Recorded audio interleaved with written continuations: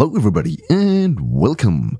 The European Space Agency has published an update on their astronaut selection program. 22,523 people have applied in June 2021, including yours truly. Now we know how many have passed the initial screening and have advanced to the next stage called Phase 2-1. More on that later.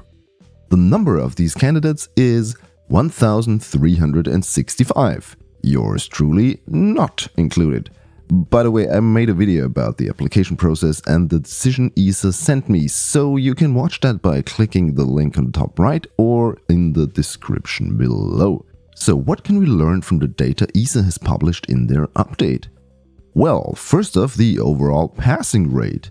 Only a little more than 6% of all applicants have passed the initial screening phase, which sounds like not a lot until you remember that ESA will only pick 4 people out of all the 22,523 to actually become full-time astronauts. That's a passing rate of not even 0.02%. So expect to see the number of 1365 to drop significantly over the next couple of months until the process will be finished in autumn 2022. There will also be the first astronaut with a disability selected, a program for which 257 people have applied and 27 have advanced to the next round. If we look a little bit deeper into the numbers, we can see that the biggest share of applications are from France, followed by Germany, the UK, Italy and Spain, which is unsurprising since those are the countries with the largest population out of all the ESA member states. But if we look at the applications per population, the numbers shift. Interestingly, France still remains on top with over 100 applications per million inhabitants, followed by Luxembourg, Belgium, Switzerland and Norway. Okay, but how successful are each of these nations? Again, the absolute number is not really a good indicator due to the unfair population advantage, but if we again order the data by population, we can see that Luxembourg comes out on top, and pretty significantly as well, followed by France, Latvia, Ireland and Belgium. The data provided also shows us the split between male and female applicants.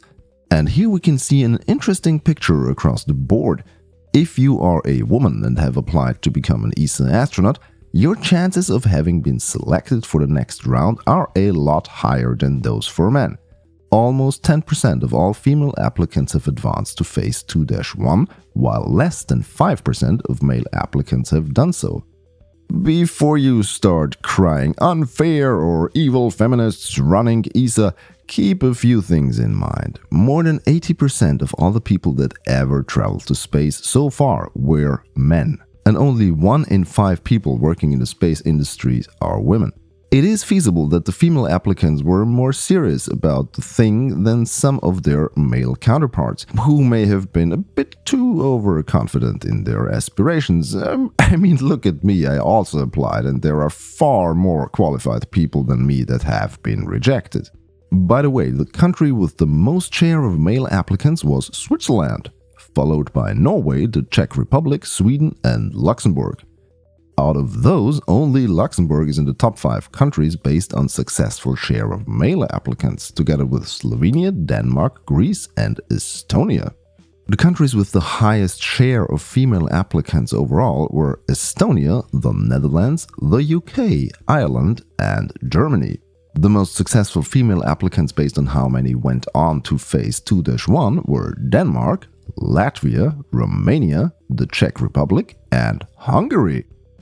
So does this tell us anything about the quality of education, science, engineering or the culture in any of these countries?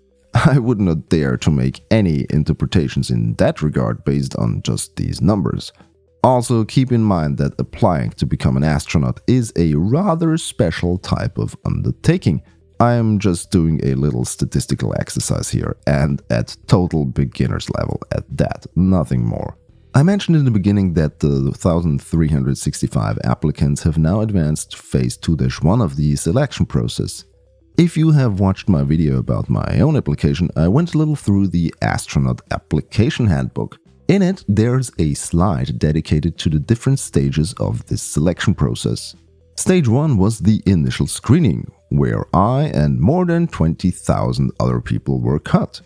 The more than 1,000 remaining applicants are now entering the stage of initial tests called Stage 2 here, which in itself will have multiple substeps. That's where the 1 in Phase 2-1 comes from. I don't know any details about these tests that will be performed. The handbook only says cognitive, technical, motor coordination, and personality tests. Would love to know more about that, and maybe I will. Stay subscribed if you're interested. After stage 2, which will weed out a lot of applicants, the next phase will put the remaining astronaut hopefuls in another set of tests as well as individual and group exercises.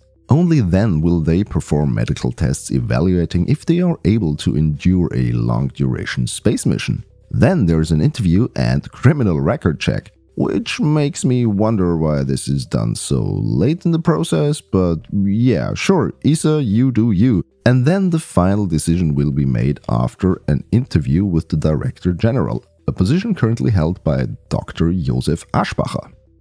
Who will be the four individuals selected for the astronaut vacancy? And who will be selected for the astronaut reserve, something ESA is doing for the first time in its history? Well, I'll surely keep my eye out for updates on this matter and I will let you know. Keep in mind, one of these people might likely be the first European to fly on a mission to the moon as part of the Artemis program. ESA provides the service module for the Orion capsule and one of the deals made was guaranteed seats for Europeans on rides to the moon. Will that happen by 2024, the goal set by the US administration a while back?